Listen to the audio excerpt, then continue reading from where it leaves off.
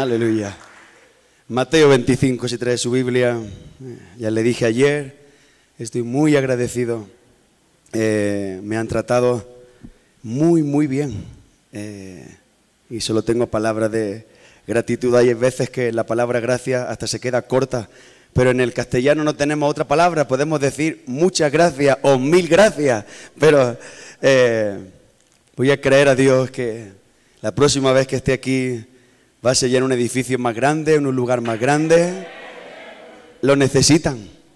Hablé con el pastor y no tengan miedo a entrar a ese reto. Eh, somos llamados por Dios siempre para dar pasos hacia el frente. No hay temor.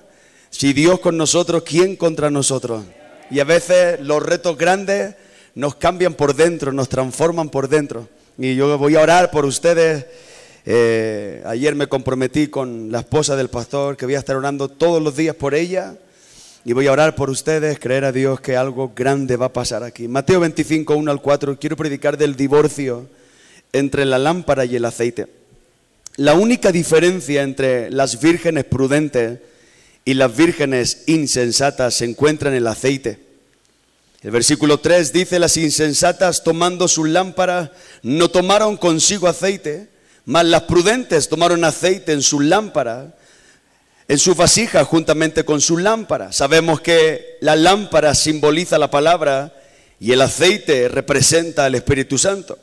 Cinco vírgenes deciden, sin que nadie les dijera nada al respecto, separar las lámparas del aceite.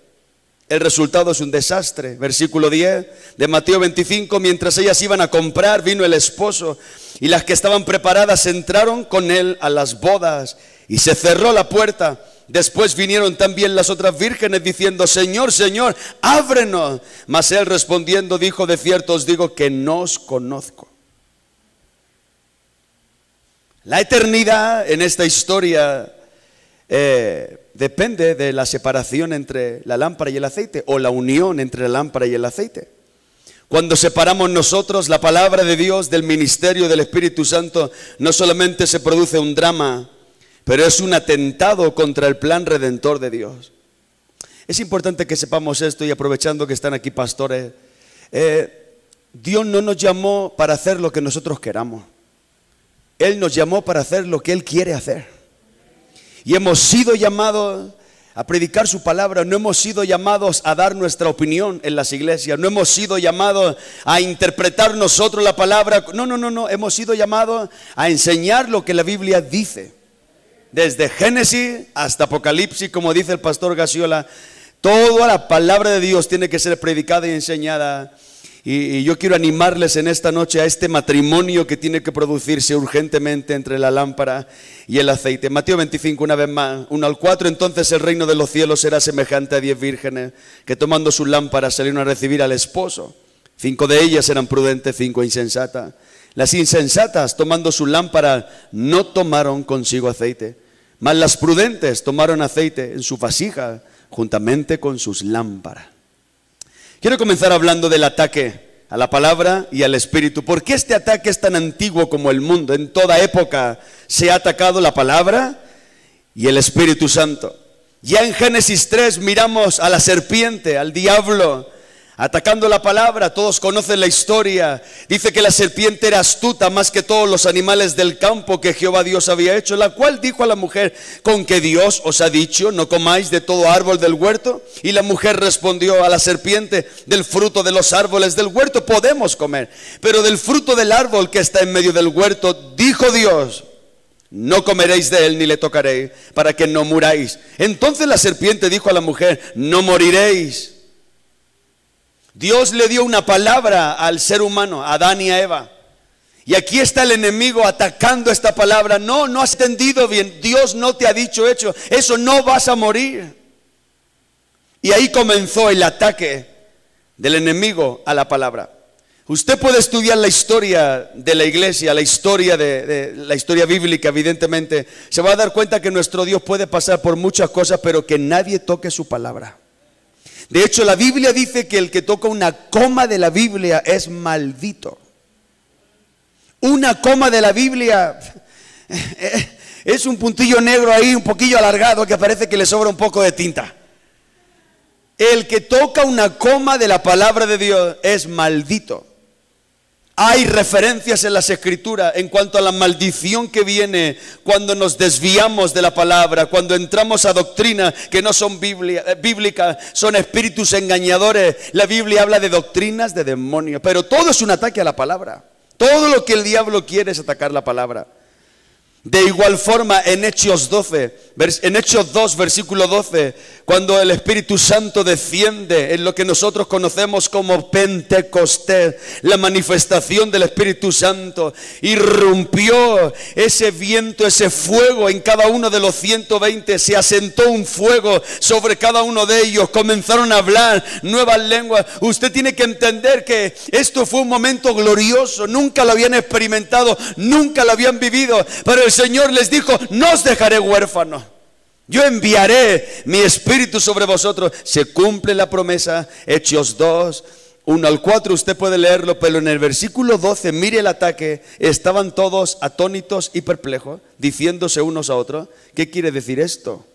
Mas otros, burlándose, decían, están llenos de mosto. Génesis 3 comienza la historia de Dios con el ser humano. Hechos 2 comienza el Espíritu Santo en la era de la iglesia a manifestarse. Hay un ataque en Génesis, hay un ataque en Hechos. No es coincidencia, coincidencia, no es algo casual, no, no es un ataque orquestado por el infierno. El diablo sabe que cuando separamos la palabra del Espíritu se produce un desastre. Burlándose. Usted puede no entender algo de Dios, pero ¿cuántos saben que no se puede burlar? Es una falta de respeto. Las cosas de Dios son santas, son sagradas. Nadie se burla de las cosas de Dios. Si, si, no le llegó la revelación, espere. Lo que no entiendes ahora, lo entenderás después. Pero burlarse. Tú ves a unos hombres y a unas mujeres llenos de fuego, llenos del Espíritu Santo, hablando nuevas lenguas. No solamente eran un lenguaje que no entendían, el Espíritu Santo comenzó a traducir esas lenguas en las diferentes naciones, dialectos de las diferentes naciones de aquella época. ¿Y tú te burlas?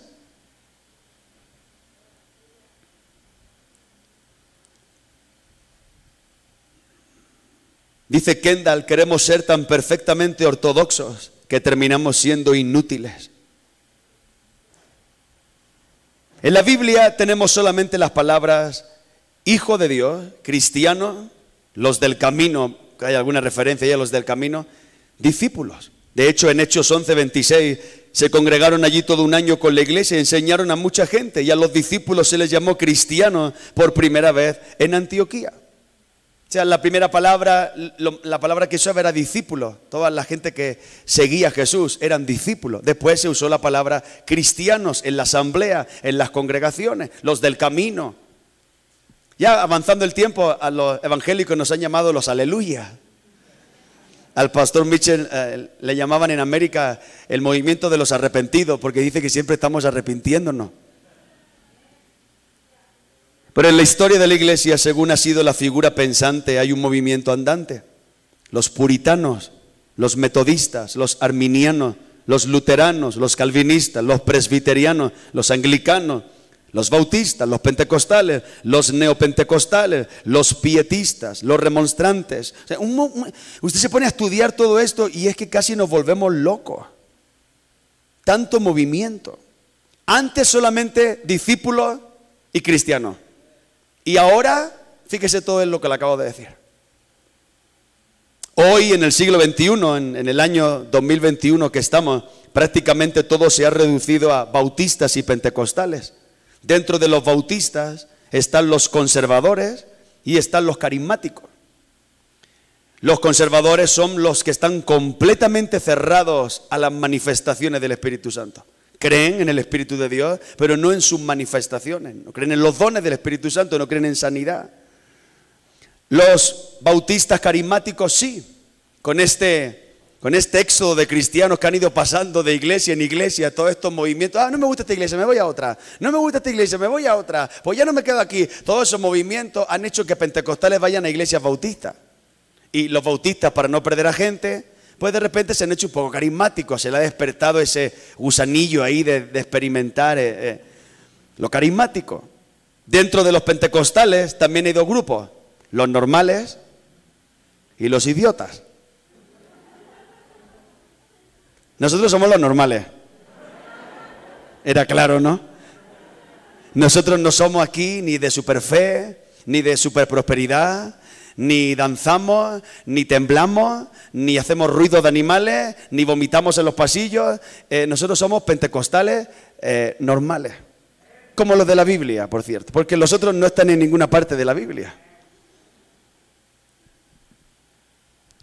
El cesacionismo el ataque contra el Espíritu Santo, el movimiento en el siglo XVII que sostiene que los dones y las manifestaciones del Espíritu Santo, así como las señales y los milagros, han cesado.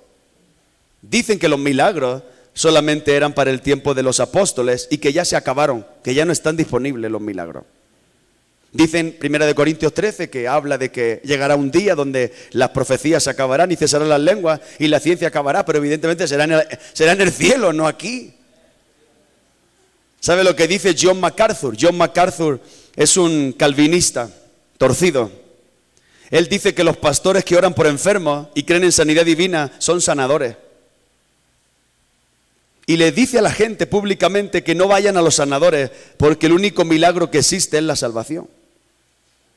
Este John MacArthur, torcido, fue el que dijo que si te suicidas siendo cristiano, te vas al cielo. Y, en Estados Unidos han comenzado pastores a suicidarse porque han creído que si te quitan la vida te vas al cielo. Porque ellos dicen que los calvinistas sostienen que una vez salvo, siempre salvo. Es un ataque a la soberanía divina. Este John MacArthur, ¿qué se cree? O, Juan Calvino, este, ¿qué se cree? ¿Quién le puede decir a Dios lo que tiene que hacer? A mí me parece esto una ofensa, hermano. Si Dios quiere hacer milagros, que haga milagros. Decían los jóvenes en de fuego, Dios puede librarnos de esta. Si no nos libra, pues, pues gloria a Él. Pero Él nos puede, Dios puede hacer milagros en toda época y en todo tiempo. ¿Cuántos de ustedes tienen testimonio de milagros? En sus cuerpos han recibido milagros de sanidad. ¿Estamos locos? Ha sido una sugestión del cerebro, una, una, manipulación del pastor. Di que está sano, di que está sano, repite que está sano, estoy sano, estoy sano. No, hermano, Dios nos ha sanado porque los milagros son reales. Estas señales seguirán a los que creen en mi nombre. En mi nombre, como decíamos anoche, Tlaxcala será lavada con la sangre de Jesús. En mi nombre echarán fuera demonios, hablarán nueva lengua, sobre los enfermos pondrán sus manos y sanarán. Por lo tanto, hermano, esto es un ataque a la soberanía divina. Por otro lado, la neortodoxia es el ataque contra la palabra de Dios. Surgió en Europa en 1950. El movimiento este decía que eh, la Biblia contiene la palabra de Dios. Fíjese la maldad. La Biblia contiene la palabra de Dios. No es que la Biblia es la palabra de Dios, sino que contiene algunas palabras que son de Dios. Esto trae una duda. Por eso la gente va a las escuelas bíblicas, sale resbalada yo leí el testimonio de un joven que decía después de tres años en la escuela bíblica, vine aquí creyendo en la Biblia, pero se me ha enseñado que es un libro con defectos, ya no sé lo que hacer con mi vida. El pastor Mitchell casi pierde la salvación en una escuela bíblica, por eso no la recomendamos a nadie. Aparte, ¿quieres una escuela bíblica? Eh, pues estudia la Biblia. Esos maestros todos de escuela bíblica son pastores fracasados, misioneros fracasados que nunca hicieron nada. Pero fíjese, hermanos, qué profundo es esto. La Biblia contiene la palabra de Dios. Al final terminamos dudando si la Biblia es la inspiración divina o es la escritura de un hombre. ¿Qué parte es de Dios? ¿Qué parte no es de Dios? Segunda de Timoteo 3 dice que toda la escritura es inspirada por Dios y útil para enseñar, para redarguir, para corregir, para instruir en justicia, a fin que el hombre, a fin de que el hombre de Dios sea perfecto, enteramente preparado para toda buena obra. Los testigos de Jehová, que yo siempre les he llamado enemigos de Jehová, porque testigos no son de nada. Ellos tienen un libro que dicen que es la Biblia, pero si usted alguna vez se encuentra con alguno de estos por las calles y usted le dice, saque, saque el libro, y usted le saca el libro, la primera página de la Biblia de ellos pone textos sacados de las Sagradas Escrituras. La nuestra pone las Sagradas Escrituras, la Santa Biblia. La de ellos pone textos sacados de las Sagradas Escrituras. Tienen dos mil versículos cambiados. Ha habido un ataque a la, palabra. Yo le hablo ahora de la neortodoxia de 1950, pero en todo tiempo ha habido un ataque a la palabra. Y eso ha producido un divorcio. Fíjese en nuestro texto, qué interesante. Tenemos el divorcio de la iglesia. Cinco vírgenes insensatas, cinco vírgenes prudentes. Por otro lado, las insensatas separan la lámpara del aceite. Tenemos dos divisiones, dos divorcios. ¿Qué significa realmente esta acción? Le, costó el calificativo de insensatas. La división de la iglesia es una insensatez. ¿Cuántos entienden eso? Que haya hoy en día en Tlaxcala o en Almería o en el mundo entero iglesias evangélicas, unas que ponen bautistas y otras que ponen pentecostales. Eso es una insensatez de los cristianos porque hemos, hemos dado a confusión a la gente. Y la gente dice, pero ¿qué, tanto evangélico? Unos son de una manera, otros son de otra, unos creen unas cosas, otros creen otras, unos, unos cantan sentados, otros cantan de pie, otros se depilan, otros no se depilan. Una tontería. Hay iglesias bautistas que no pueden ni maquillarse, ni depilarse. No sé, hermano. Eh.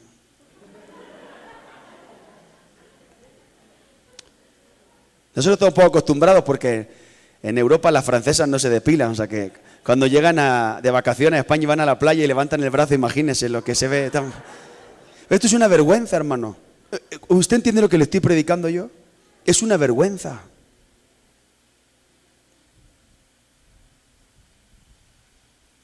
Y es lo que está pasando hoy en el mundo cristiano. Estamos divididos en cuanto a las creencias, las posiciones, las referencias, los referentes. Por eso no podemos caminar juntos, por eso no podemos unirnos con otras iglesias, porque no estamos de acuerdo. Nosotros tenemos eh, una manera de funcionar y de trabajar. Si nos unimos con otras iglesias, tenemos que empezar a ceder nuestros principios, nuestras convicciones. Yo no me sentaría a escuchar a una mujer predicar. Lo siento, hermana, pero, pero no me siento me voy.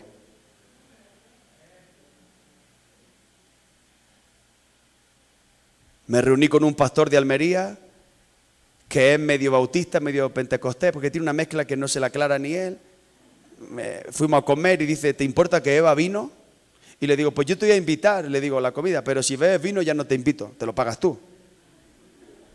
Me miró y dice, ya me habían dicho que eras muy antipático. Digo, sí, sí, gracias pero yo no te voy a pagar tus vicios, te los pagas tú. O sea, lo que le quiero decir, hermano, es que no podemos reunirnos con otras iglesias porque tenemos muchas diferencias. Y al final, si nos reunimos, ¿para qué? Para discutir. Para empezar a argumentar, para empezar a pelear, para empezar a... Nosotros hemos hecho cruzadas de milagro en Almería y hemos recibido llamadas de pastores bautistas que, que ellos no van a venir y yo tampoco te hemos invitado. Yo no quiero un bautista en nuestra cruzada de milagros. Si no creen en milagro, ¿a qué vienen? Vienen a grabar, vienen a ver para después criticar. No, no, no nos interesa, hermano.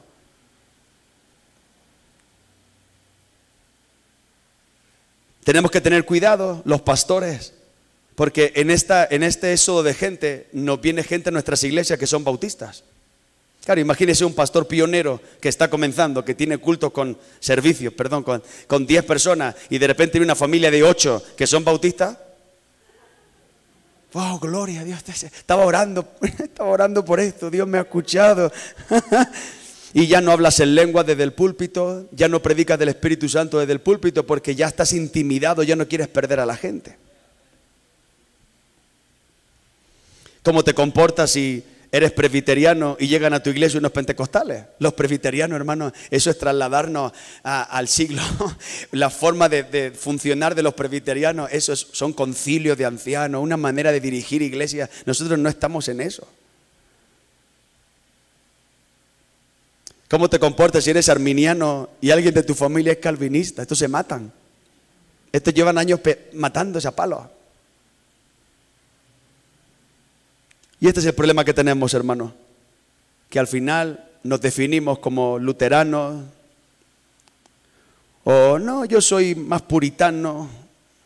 Ahora Miguel Núñez, que es un pastor muy conocido aquí en América, eh, están reinventando ahora el, ser pentecostés, le llaman neo, neo ya estamos eh, neo, ahora es neocalvinismo, neopentecostés, como que le queremos dar otra vuelta de tuerca a todo esto. Todo esto son divisiones y separaciones. Siguen dividiéndose las iglesias, siguen dividiéndose los compañerismos, los movimientos. ¿Es que ama Dios a un luterano más que a un calvinista?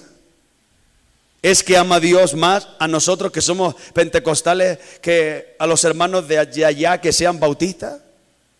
Si Dios nos ama a todos por igual. ¿Es que somos mejores nosotros que los bautistas? ¿Alguien se considera aquí mejor que un bautista? Es un error. Somos hermanos. ¿Cuál es la diferencia entre los bautistas y los pentecostales? Hermanos, muy sencillo. Los bautistas tienen la palabra, han desechado el aceite. Los pentecostales tenemos el espíritu y hemos desechado la palabra. Porque hoy en día en el mundo pentecostés hay muchos predicadores eh, que no predican la palabra de Dios. Pura historia, pura ilustración, puro rollo. Tú escuchas a muchos predicadores hoy predicar que son pentecostales, no hay enseñanza en sus mensajes. No hay nada. Sin embargo, escuchas a un pastor bautista predicar. Oiga, mis respetos, ¿eh? De hecho, los pastores bautistas siempre han sido los mejores predicadores, porque la enseñanza ha sido muy ordenada, muy estructurada. Y este es el divorcio que tenemos.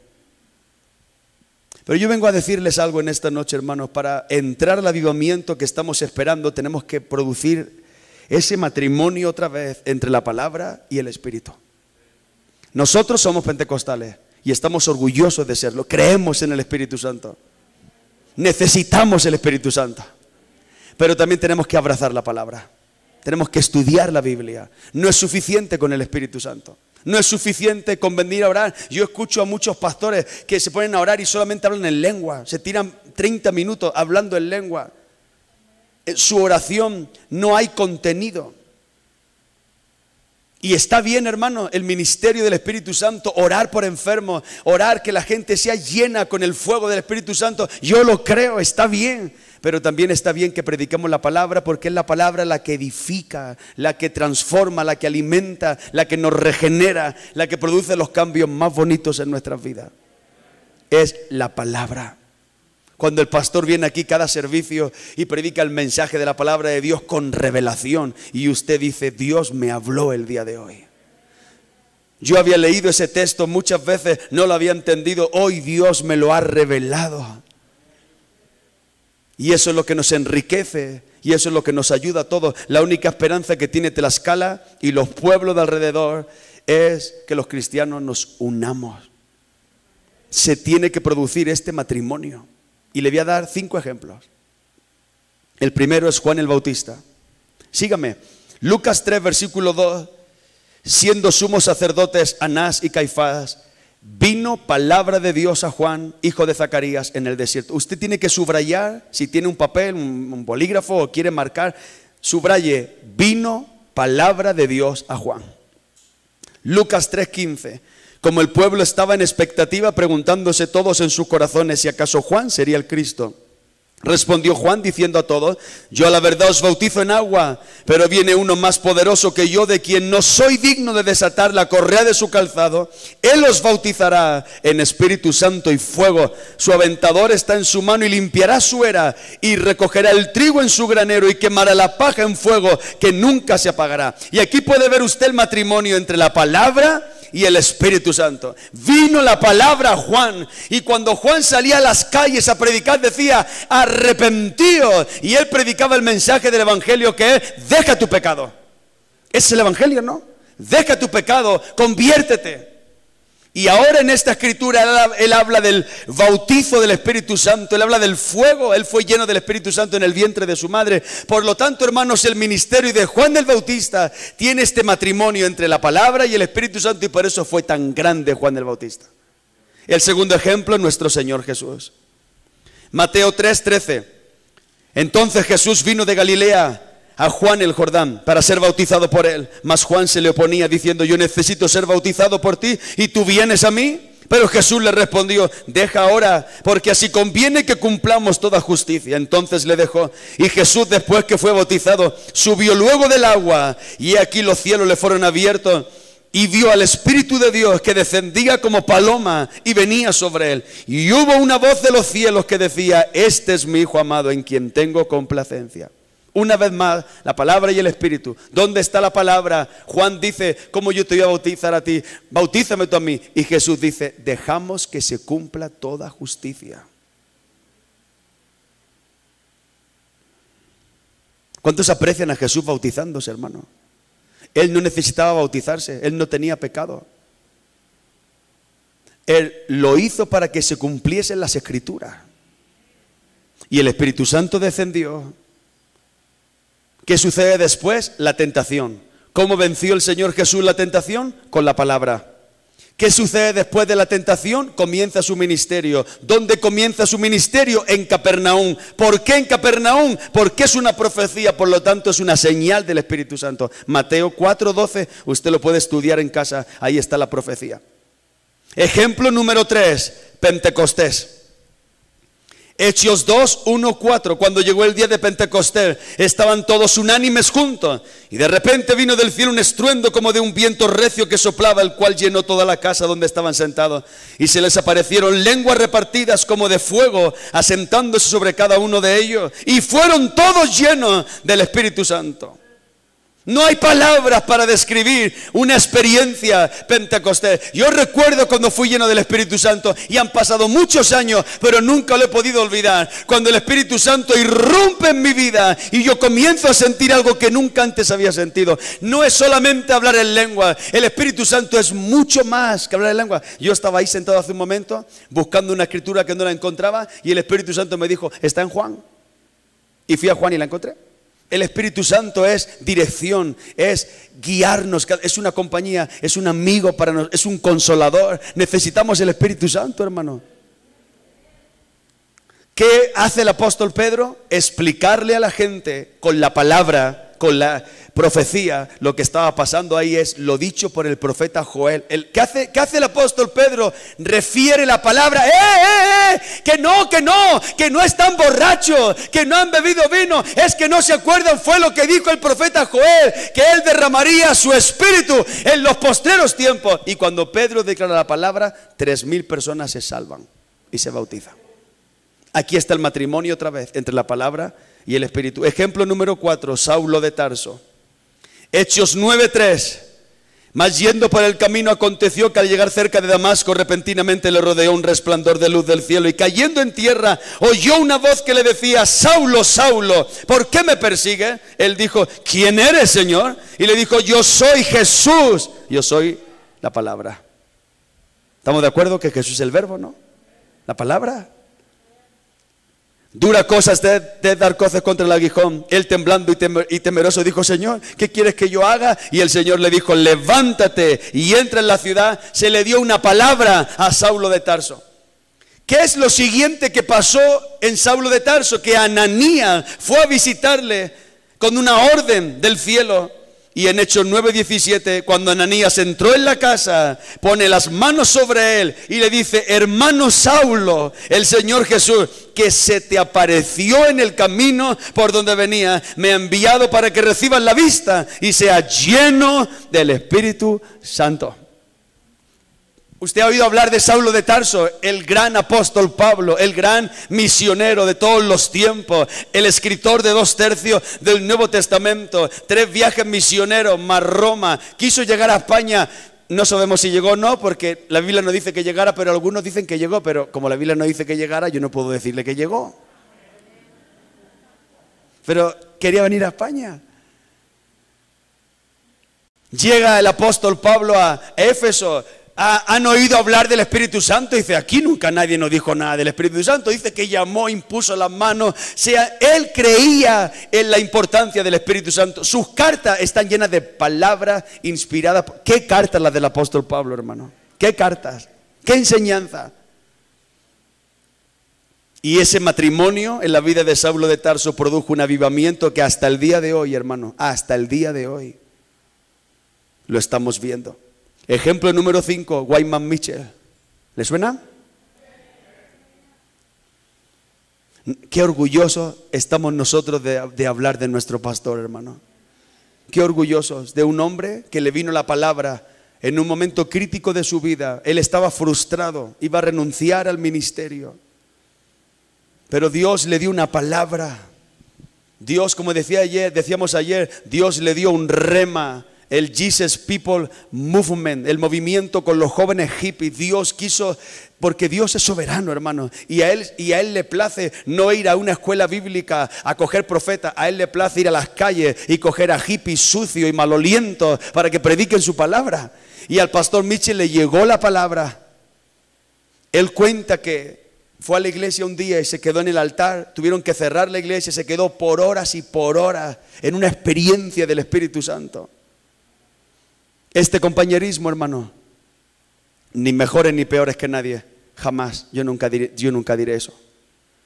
Pero este compañerismo ha, ha, experimentado e, ese avivamiento porque hemos vuelto a la palabra de Dios. Este compañerismo está sustentado en la palabra de Dios. Todo lo que hacemos está inspirado en la palabra. Somos un movimiento bíblico.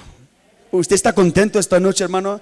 nuestros líderes no son tarados. Nuestros líderes han estudiado las escrituras, han estudiado la Biblia, han puesto los linderos, las normas conforme la Biblia nos enseña. Todo lo que hacemos en nuestras iglesias es bíblico. Cuando llegó Pensacola, el pastor Mitchell dijo eso es demoníaco, es de la carne. Fue cuando empezaron a tirar chaquetas y la gente se caía al suelo, la gente comenzó a reírse. En Almería tuvimos una división en 1994, perdimos la mitad de la iglesia por la risa, por la danza. Y el pastor Mitchell dijo eso no es de Dios, esa no es la palabra de Dios. Y ha preservado este movimiento. Cada vez que el pastor Mitchell dice somos pentecostales, somos los últimos años de su vida predicando en conferencias, somos pentecostales, somos pentecostales, somos pentecostales. ¿Sabe, este movimiento, hermano? En 51 años, casi 3.000 iglesias en 140 naciones. Tenemos 66 centros de conferencias. Porque en 1970 Dios encontró a un hombre que quiso unir la palabra con el Espíritu. ¿Cómo la ves si en esta noche nos producimos este matrimonio y nos enamoramos de la palabra como nunca antes nos hayamos enamorado? Nos ponemos una disciplina diaria de leer la Biblia todos los días, no por norma, sino porque lo amo, amo yo amo mi Biblia, hermano.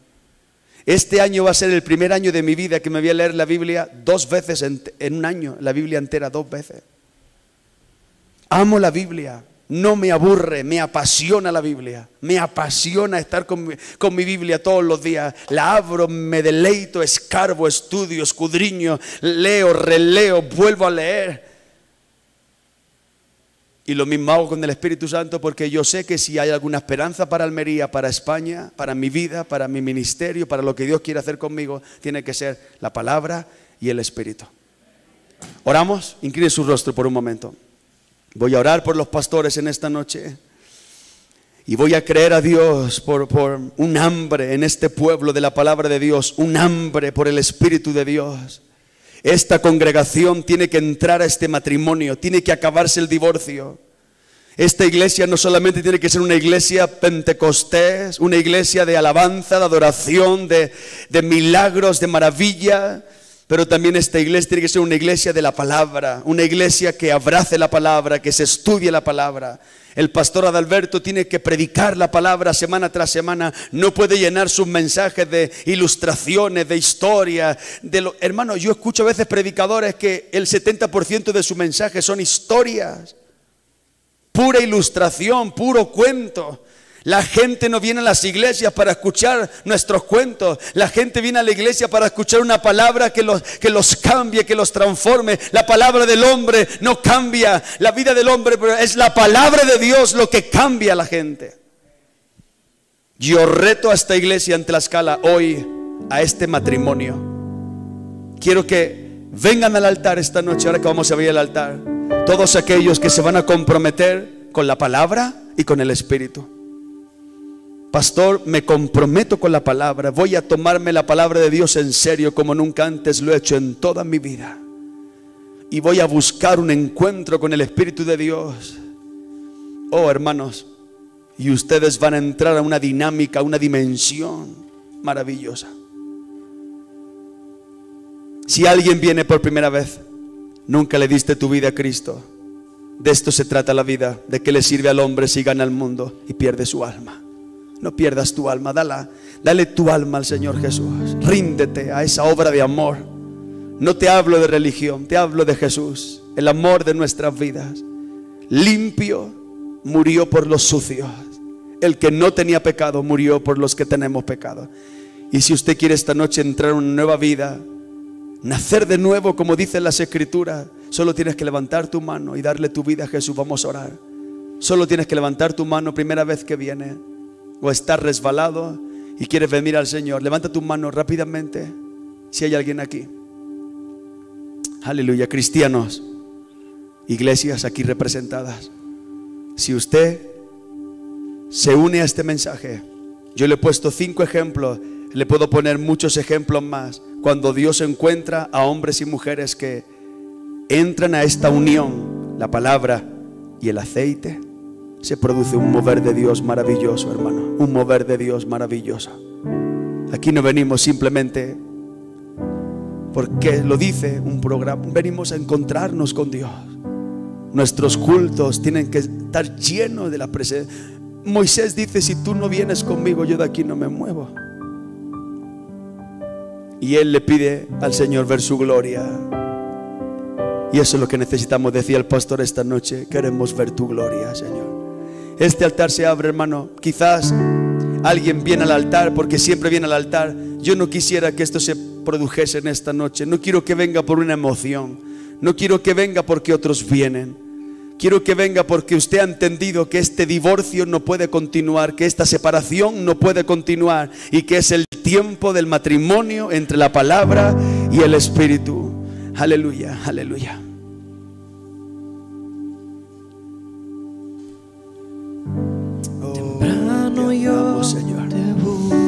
Te amamos, Señor. Te damos gracias por tu palabra, Señor.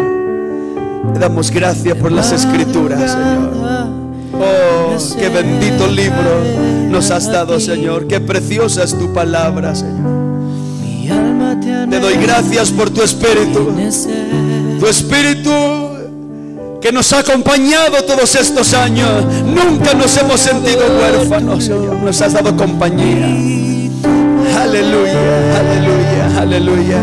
Trae sabiduría a este pueblo, revelación esta noche, Señor.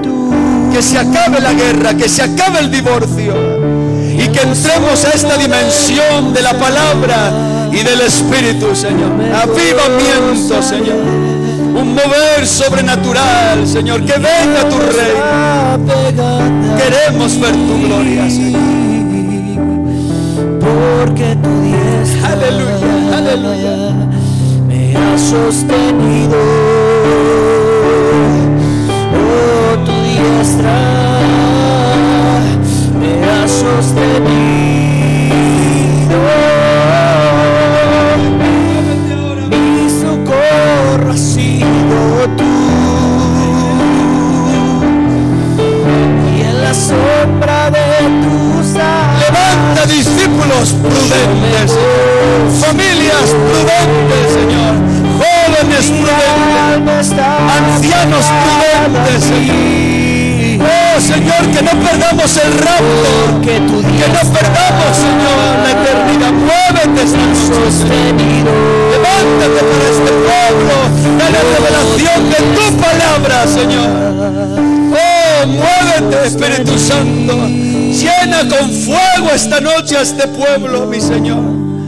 Espíritu Santo, ven, ven, ven esta noche. Nuevas lenguas en este pueblo.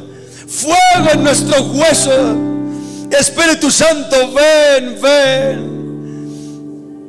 Oh, por la sangre de Jesús. Ven, Espíritu Santo, ven. Visítanos en esta noche. Que este pueblo vuelva a tener esa comunión contigo. Espíritu Santo, tú eres nuestro amigo. Muévete esta noche, Señor. Despierta a esta congregación, a una vida pentecostés, a una vida de intimidad contigo, Espíritu Santo. Los dones del Espíritu Santo. Aleluya, manifestaciones del Espíritu Santo. Muévete aquí ahora, Padre mío. Tienes que irrumpir en este pueblo de Tlaxcala. Porque aquí hay un pueblo en este altar que ha respondido a este reto. Y aquí están uniendo la palabra y el Espíritu, Señor. Sella este mensaje con un derramamiento de tu gracia. Con un derramamiento de tu poder. Visiones, sueños, Señor. Proezas, maravillas, milagros. Aleluya. Aleluya. ¿Cuántos de ustedes, nadie mirando a nadie, todo ojo cerrado en un respeto hacia nuestro Dios que está aquí, que está aquí? ¿Cuántos de ustedes reconocen que no están enamorados de la palabra? No leen la Biblia todos los días. Cuando la leen, no la aman, no la escudriñan, no la estudian, no le prestan atención, la leen muy poco tiempo, se cansan. Podemos ver un partido dos horas, pero nos cansa dos minutos de leer la Biblia. Podemos ver una película una hora y media, pero no podemos leer cinco minutos la Biblia. Podemos salir de compras y estar cinco horas de compra, pero no podemos estar diez minutos con la Biblia. ¿Cuántos de ustedes reconocen delante de Dios sin mentiras y sin trampa que no aman la palabra de Dios como deberían? Y que ustedes en algún punto de su vida cristiana no han abrazado la palabra y no están estudiando la palabra como deberían. Incluso pasan semanas que usted no lee la Biblia, no la lee, ni la trae a la iglesia. Y usted está arrepentido esta noche porque Dios le ha hablado y le ha dicho, eres un insensato hijo, eres una insensata hija. No puedes separar la vida, tu vida de mi palabra. Yo te la di para que te acompañe en este viaje. ¿Cuántos de ustedes levantan la mano y dicen, Señor, me arrepiento, no, no, he, no, no he amado tu palabra, pero esto va a cambiar. Levante su mano, Dios ve esa mano. Oh, aleluya. Dios ama la sinceridad, hermano. Dios ama la sinceridad. Pida perdón al Señor. Usted que ha levantado la mano, dile, Señor, me arrepiento. No está bien lo que he hecho. Tengo una convicción en mí que he despreciado, he menospreciado, no he valorado tu palabra y esta noche estoy arrepentido de mi corazón. Me duele en mi corazón no haber tomado en serio tu palabra. Me duele. Me duele en mi corazón no haberlo hecho, Señor, porque es tu palabra. Es el regalo más grande que me has dado, tu palabra que alumbra en lugares oscuros, que dirige mis pasos, que limpia mi alma. ¿Cuántos de ustedes, hermanos, no han entrado con profundidad a la vida en el Espíritu? Yo sé que la mayoría de ustedes hablan en lengua. No, no, no estoy hablando de esto. Quiero hablar de los dones.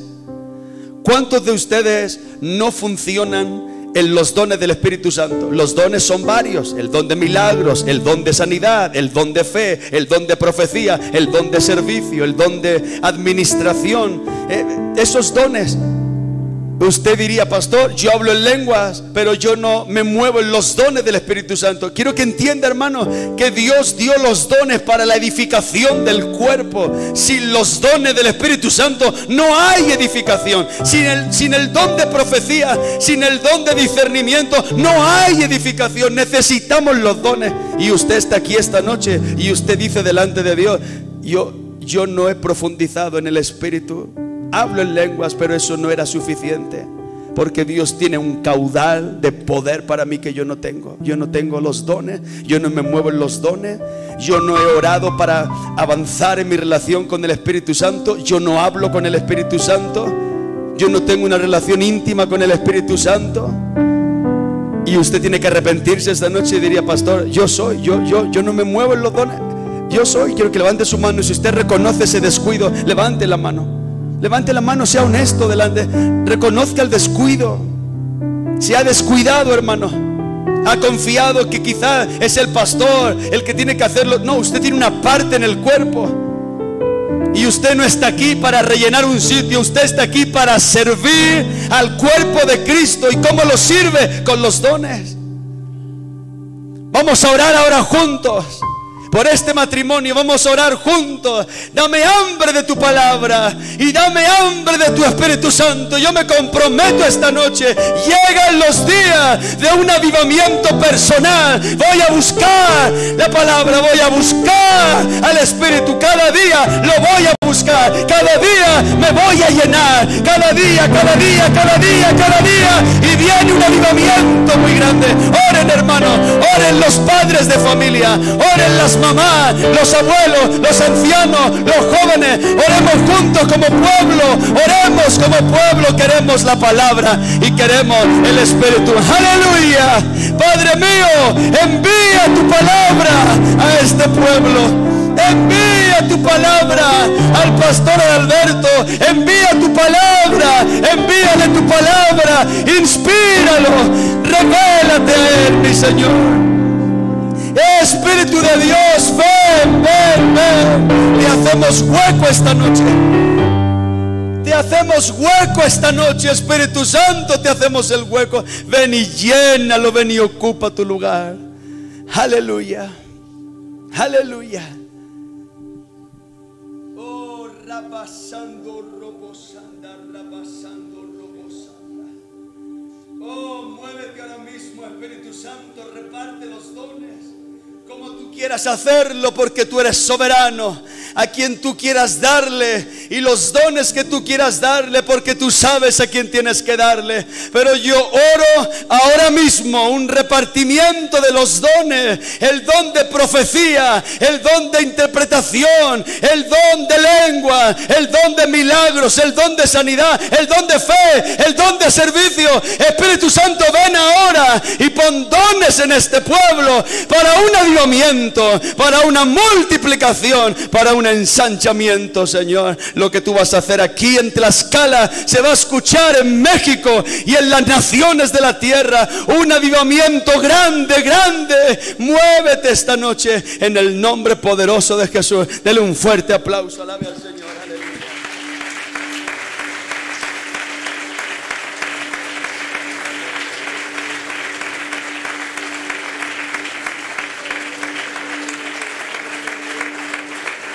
Aleluya. Aleluya. Oh, aleluya, aleluya,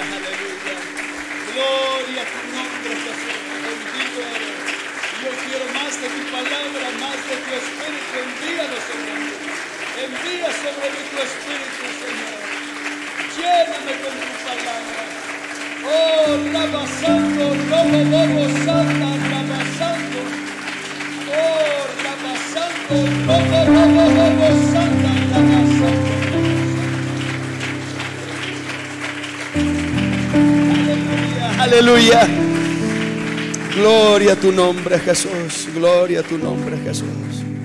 Oh, aleluya. Vamos a ponernos de pie.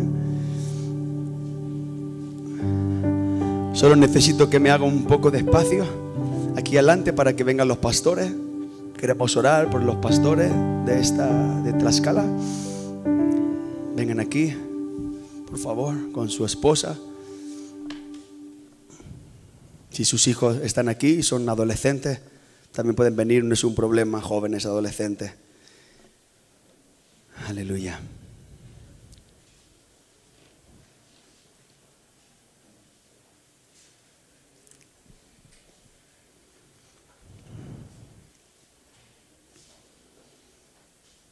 Oh, qué imagen, qué imagen más preciosa. ¿Cuántos de ustedes aprecian esta imagen? Esto es lo que ha producido esta iglesia. Son sus hijos. Son sus hijos. El esfuerzo de muchos años, las oraciones, la fidelidad. Este es el fruto, hermano. Eh, le digo algo como iglesia madre que ustedes eh, y cualquier mamá que esté aquí sabe que no hay nada como los hijos. Los hijos nos llenan de alegría. Vamos a orar por ellos. Y yo quiero pedirles un compromiso personal. No soy su pastor. eh, y- pero voy a decirles esto, me voy a tomar la confianza de decirles, ustedes tienen que abrazar la palabra y el espíritu. No podemos permitirnos tener predicadores que no usan la palabra, que solamente sus mensajes están llenos de anécdotas o de historias, o están desordenados, o no hay revelación. Tienen que orar cada día que Dios le dé una palabra para su pueblo. Predicar no es un hobby, no es, un, no es algo que hacemos. predicar es, una, es, un trabajo muy serio que hacemos. Dios nos presta, esto es santo, hermanos, esto es sagrado. A Carlos Spurgeon a Charles Spurgeon le ofrece la reina de Inglaterra ser primer ministro del rey de, Inglaterra. Y él dijo, no, es que ya soy ministro del Evangelio. Y dice ella, ya, pero lo que yo te ofrezco es mucho más grande. Y dijo Spurgeon, perdona, pero lo que tengo es mucho más grande. Ustedes son predicadores del Evangelio. Sus esposas que están aquí fueron llamados por Dios al ministerio. Significa que tanto él como ella, usted como su esposa, tienen que abrazar la palabra y el Espíritu. Si no, estamos cayendo en una trampa y, no se enfade con esto, hermanos, pero la Biblia nos, nos llama insensatos. No se vale un pastor que lo haga y la esposa no. No se vale la esposa del pastor llena del Espíritu Santo y, el pastor no, no se mueve. Eso es, eso es, un divorcio, eso es un drama. Ustedes están pionando, yo sé lo que es pionar, yo sé lo que es tomar iglesia, yo sé lo que es vivir un infierno. Y la única manera de salir adelante y prosperar en el ministerio es la palabra y el espíritu. Yo le digo, yo estudio, me tiro muchas horas para hacer un mensaje. Muchas horas. Yo no ando copiando los mensajes de nadie. No lo hagan nunca. No copien los mensajes de nadie. No anden buscando ya. No, no, no. Ustedes tienen que buscar lo que Dios le quiere dar a ustedes. Yo me tiro muchas horas orando y estudiando y tengo mis comentaristas bíblicos. Oh, hermanos, no lo digo, lo digo con toda la humildad. Pero cuando yo estoy estudiando y Dios comienza a revelarme cosas, oh, y llego a la iglesia y predico y la gente dice, pastor, qué mensaje, yo sé el valor que tiene la palabra y evidentemente el Espíritu. Quiero orar por ustedes, quiero animarlo a entrar a un avivamiento, porque si ustedes abrazan este mensaje, va a llegar un avivamiento. Es que el avivamiento viene de Dios. El avivamiento no es algo que nosotros podemos originar, tiene que ser que Dios lo haga. Y solamente Dios hace milagros y maravillas cuando encuentra a un pueblo que respeta su palabra y que respeta su espíritu. Entonces Dios se mueve, hermano. Da igual si estudiamos, si no estudiamos carreras universitarias, da igual cuando el Espíritu Santo desciende, su gloria es manifestada. Así que aquí está el pastor, voy a pedirle que si puede orar por ustedes. Eh, estamos todavía en pandemia, no podemos muchas veces ni tocarnos ni nada, hermanos, pero esta noche vamos a hacer una excepción. Vamos a, el pastor va a imponer manos, viene un cosechador delante, hay planes, el pastor tiene planes eh, y es el momento de este, hermano, están en un momento, en un momentum, se siente aquí algo de un momento de Dios. No lo pierdan, porque yo sé lo que es vivir años en un desastre sin avivamiento, sin escuchar a Dios, sin sentir a Dios. Eso es muerte. Y aquí, desde que yo vine el primer día, Dios está aquí. Y Dios quiere hacer algo muy grande con ustedes. Es el momento del matrimonio. Así que toda la iglesia orando, extendiendo sus manos, el pastor extendiendo sus manos, yo también voy a extender las manos, todos juntos oramos por este avivamiento de la palabra y del Espíritu. Aleluya. Padre, yo vengo delante de ti.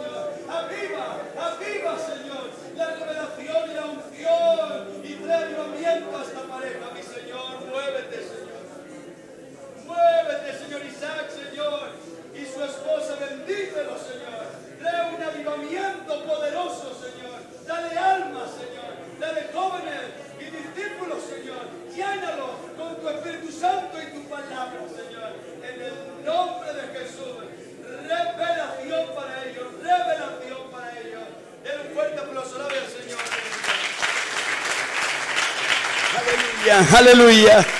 Gloria a tu nombre, Jesús. Avivamiento, avivamiento, avivamiento, Señor. Aleluya. Amén, amén, amén. Aleluya. Wow, esto se va a poner muy interesante. Dios les bendiga a todos. Gracias por dejarme orar por ustedes. Y gracias a toda la congregación por su cariño, eh, por, por, lo bien que me han hecho sentir estos días, al pastor Adalberto, a su esposa. Eh, que no tengo palabras, hermano. Eh, me gustaría despedirnos todos con ese grito de guerra que aprendimos ayer, que es veneno para el diablo, que nos va a dar avivamiento en esta ciudad y en otra. Es un lema de guerra que ha funcionado en África, va a funcionar en México, va a funcionar en España, y es que la sangre de Jesús sigue teniendo mucho poder. Y como es nuestro lema de guerra, Tlaxcala será lavada con la sangre de Jesús. Otra vez, Tlaxcala Dios lo bendiga. Aleluya. Aleluya. Aleluya. Gracias, mi Dios. Amén. Puede tomar su lugar por un momento. Amén.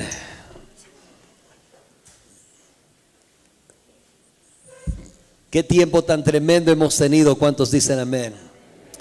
Definitivamente si tenemos la palabra y el Espíritu, nada nos va a poder detener. Amén. Vamos a ser imparables. Amén. Si tenemos la palabra de Dios y la unción y el poder del Espíritu Santo, nunca nada va a poder detener a una iglesia. Amén. Y yo creo que esta noche Dios vino a impulsar nuestros corazones. Dios vino a a, conectarnos una vez más con esas fuentes del poder, amén, de Dios. El Espíritu Santo siempre nos va a guiar por su palabra, siempre, siempre. Hermano, es, es tremendo abrir la Biblia, estarla leyendo y, y por el Espíritu Santo entender la escritura entender lo que estamos leyendo, comprender, amén, este, por lo que el Espíritu Santo nos está enseñando y nos está dictando muchas veces por su palabra. Amén. Así que esta noche atesore esta palabra, conviértase en un cristiano que ama la palabra de Dios, que no solamente la tiene ahí como un amuleto de buena suerte, así como le hacen muchos, amén, que dice, voy a abrirla en el Salmo 91 para que no se acerquen demonios en la noche.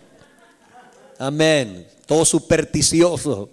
La fe no es superstición, ¿cuántos pueden decir amén? Entonces, tome la palabra, porque si preguntamos quién tiene una Biblia en su casa, casi todos van a tener una Biblia en su casa. Pero tenga, amén, el, eh, el corazón, el hábito, amén, de tomarla cada día, leerla, escudriñarla, meterse usted con Dios y decirle, Señor, háblame hoy en tu palabra. Amén. Y es tremendo. Ahora, no desconecte la palabra del Espíritu.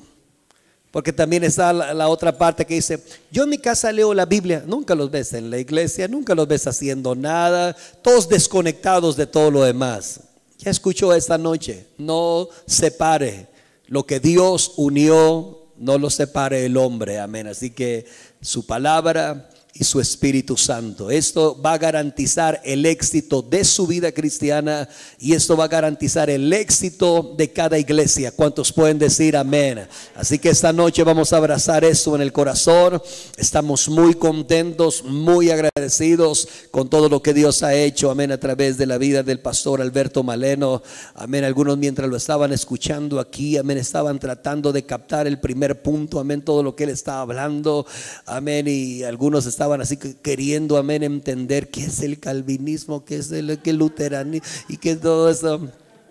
Amén. Él solamente estaba pasando ahí la historia, amén, de, de muchas cosas que han estado ahí marcando la vida muchas veces de la iglesia. Pero gracias a Dios, mire, nosotros militamos en un compañerismo que cree en la palabra que está fundamentado, amén, en lo que la Biblia dice. Aquí no estamos haciendo cosas extrañas. ¿Verdad? El Espíritu Santo no es la causa, decía Tozer, no es la causa del fanatismo, es la cura. Amén. Cuando el Espíritu Santo viene, te da entendimiento que no es de Dios, que sí es de Dios, que es genuino, amén, y que es ah, algo falsificado. El Espíritu Santo nos da discernimiento de eso, amén. Así que puedo decirle que Dios nos ha traído a un compañerismo que ha guardado celosamente esto que ha escuchado esta noche, la palabra y esa vida en el Espíritu Santo. Amén. Si algo aprendimos del pastor Wyman Mitchell de su vida, de la vida de él, de su testimonio, es que el hombre abrazó lo que esta noche escuchamos nosotros aquí. Amén. Él fue muy bíblico. A la misma vez, él nunca, amén, trató de, de, de, ocultar, amén, que él creía en las manifestaciones del Espíritu Santo. Eso es lo que somos. ¿Cuántos pueden decir amén? Eso es lo que somos como, como iglesia y como compañerismo. Amén. Así que vamos a abrir el corazón, vamos a a dar una ofrenda de amor esta noche al hombre de Dios que ha estado aquí con nosotros. Hermano, solamente abra su corazón. Esta última noche siempre decimos, dejamos la ofrenda hasta el final para dar una ofrenda de amor a estos hombres que vienen y con tanto amor, amén, y pasión nos presentan estos, estos sermones que Dios les habló a ellos allá en la intimidad, en algún momento, en oración, estando a solas ahí con Dios y les hizo Dios, amén, comprender lo importante que era que el pueblo escuchara, amén, estos mensajes. Y nosotros lo hemos recibido y estamos, amén, contentos desde la primera noche, ayer, amén, lo que Dios siguió haciendo hoy. Y, le aseguro que si mañana volviéramos a escuchar palabra, de, Dios volvería a hablar una vez más, amén. Así que esta noche sea generoso con el hombre de Dios que está aquí, sabiendo que ha sido enviado de Dios. Hermano, a mí no me cabe la menor duda. Esta visita es de Dios. Estos días han sido muy de Dios, muy del cielo. El primer día Dios tocó vidas, cuerpos fueron tocados aquí, entendimiento, amén, ha venido al corazón. Hay gente que me dice, pastor, yo el mensaje de las hormonas ya lo escuché hasta dos veces. O sea, Dios, amén, ha estado hablando, amén, por su palabra estos días. Y lo que Dios ha hecho, hermano, no lo podemos pagar con ninguna cantidad. No puede usted pagar los milagros de Dios. No puede usted amén, pagar la impartición que viene de Dios en un momento como este. No, no. Esto es solamente una forma de agradecer al hombre de Dios que pasa, amén, por aquí y decirle gracias por haber venido, amén, desde España. ¿Cuántos saben dónde está España? Está un poquito más para allá de Veracruz. Amén. Y desde allá él vino aquí. Amén. Eh, eh, él ya tenía los boletos de avión cuando eh, me hizo, amén, la, la, invitación, oh, no, me hizo más bien saber que Él iba a estar aquí y que Él tenía estos tres días para nosotros. Yo dije, gracias. Y yo le he dicho, gracias, amén, por habernos considerado en este viaje, amén. Así que solamente abra el corazón y dígale, Pastor Alberto, gracias por haber estado aquí. Queremos volverlo a tener. ¿Cuántos quieren que vuelva? ¿Cuántos quieren que vuelva pronto? Sí, amén. Yo quiero que Él vuelva pronto, amén. Así que vamos a honrarle y vamos a bendecirle, amén, esta noche como Él nos ha bendecido a nosotros. Sea generoso, amén. Y voy a pedir a los sugieres que pasen aquí a este lugar, como hemos aprendido a tratar bien a los hombres de Dios. ¿Sabe por qué esta iglesia ha recibido gracia de Dios, hermano? ¿Sabe por qué? Este es uno de los secretos es saber honrar a los hombres de Dios. Honre al hombre de Dios y seguramente Dios le va a ayudar y le va a bendecir a usted. Amén también. Entonces, vamos a orar, vamos a pedirle a Dios que Él bendiga esta ofrenda. Amén. Y a todos los corazones sensitivos. Y vamos a orar juntos. Padre, en el nombre de Jesús.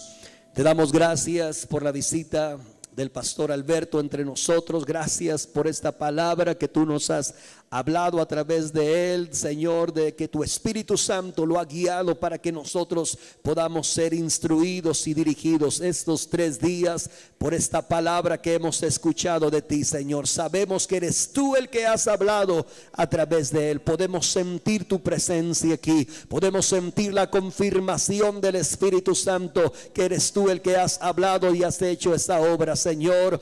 Y nos has llamado a abrazar tu palabra, Señor, y a creer por las manifestaciones del Espíritu Santo. Bendice Dios al dador alegre. Y bendice a los corazones que hoy son sensitivos. Y sigas tú bendiciendo el ministerio, Señor, del pastor Alberto Maleno aquí. Amén. Y su ministerio, Señor, allá en España, Señor. Y lo sigas levantando con poder. En el nombre de Jesús te damos gracias y la gloria. Amén. Amén.